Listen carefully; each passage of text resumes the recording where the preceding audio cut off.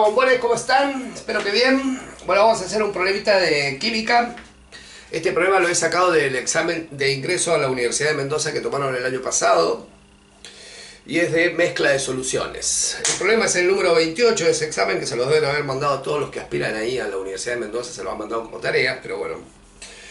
Dice que se, mezcla, se mezclaron, voy a saber cuándo, dos soluciones A y B. La solución A es 100 mililitros de ácido nítrico, 0,125 molar. Y la solución B es 200 mililitros, 10% peso en volumen. Ambas de ácido nítrico, por supuesto. Y nos pregunta cuál es la concentración molar de la solución final. La concentración molar de la solución final es la molaridad. Bien, yo para, ah, he hecho los dos dibujitos, la solución A, que es 0,125 molar, de la cual tomé 100 mililitros, la solución B, que es 10% peso en volumen, de la cual tomo 200 mililitros. Esto significa que el volumen final que yo voy a tener de solución son los 100 más los 200, son 300 mililitros.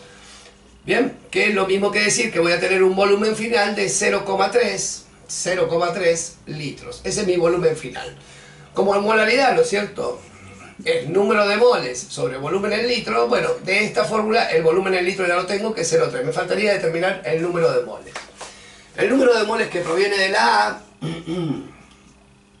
va a ser su molaridad por el volumen que yo tomo en litros de dicha solución. O sea que el número de moles de la A sería su molaridad, que es 0,125, por el volumen en litro, que sería 0,1 es decir, que el número de moles que proviene de la A quedaría 0,0125 moles.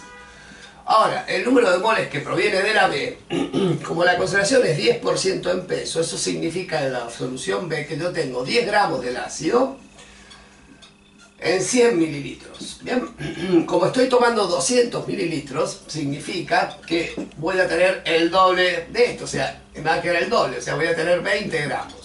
20 gramos de ácido. Entonces el número de moles de la B sería la masa del ácido que yo tengo son 20 gramos dividido el peso molecular del ácido nítrico que es 63 gramos por mol.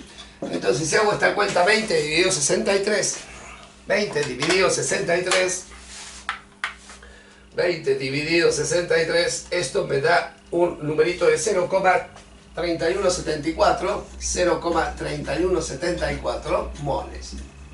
Es decir, entonces que el número de moles totales serían los que provienen de A, que es 0,0125, más los que provienen de B, que es 0,3174, y esto me va a quedar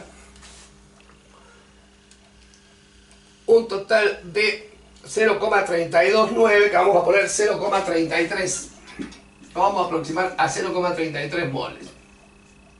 Entonces, ya sabiendo el volumen y el número de moles totales, que es 0,33, dijimos 0,33, ¿no? 0,33 moles, la molaridad de la solución final va a ser entonces 0,33 dividido 0.3 dividido 0.3, esto me daría aproximadamente 1,09. 1,09 molar, que puede que las opciones que aparecen aquí hayan hecho alguna aproximación, vamos a ver si es cierto. Entre las opciones que aparecen de respuesta, el 28 me aparece 1,091, o sea que la opción correcta sería la B de ese ejercicio.